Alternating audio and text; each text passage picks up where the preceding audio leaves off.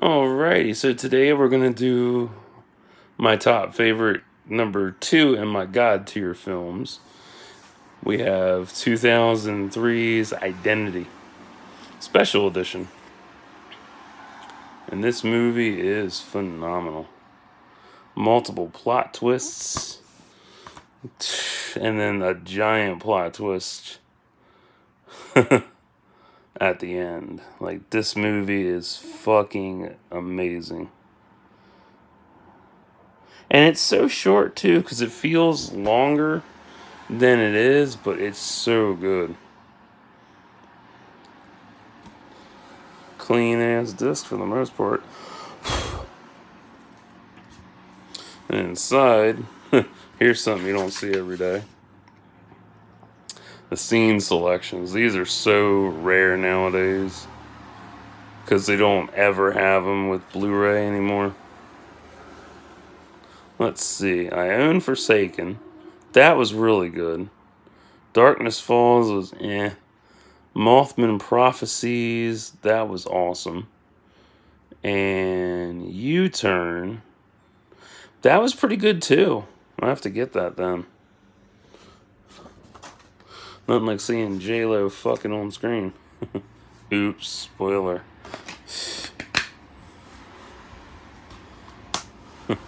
so, this is an all-star cast film. This has John Cusack, Ray Liotta, Amanda Peet. Oh my, there we go.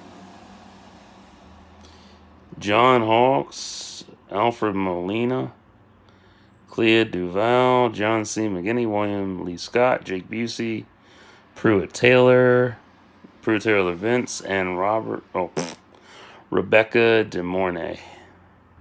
And it's directed by James Mangold, written by Michael Cooney. So, you know why this is God tier for me? Because multiple plot twists and the way it jumps right into the film. Um, the best part about this is that when I first saw it, it was on TV, and I didn't know what the hell it was.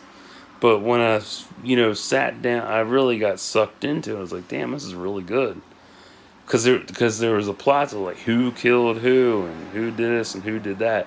And then it all wrapped up in the end. I was like, holy shit, that was amazing.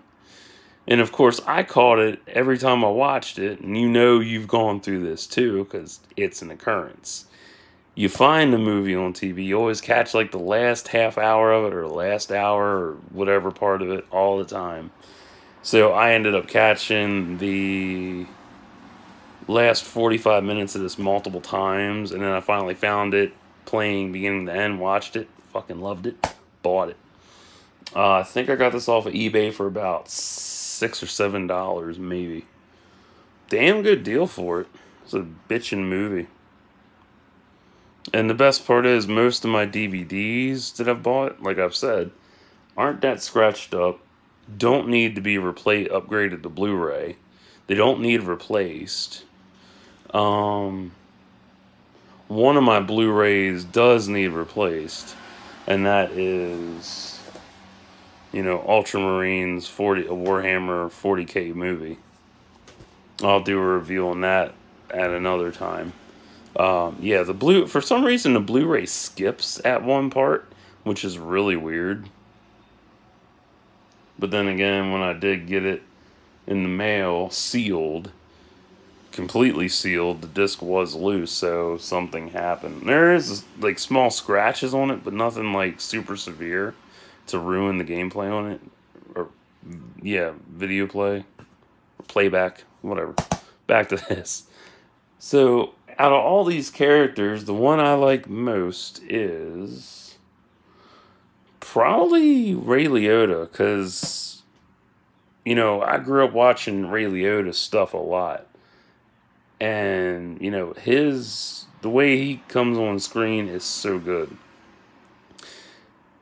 But, you know, also, you know, John Cusack was phenomenal. Amanda Peet, all of them were phenomenal in this movie. The whole cast, the whole ensemble. Beautiful. The story is phenomenal. The premise is out of this world. Um, it's one of the reasons that I got into writing, you know? It's one of the reasons that I you know, inv- I started working plot twists into my stories and stuff because I like that shit.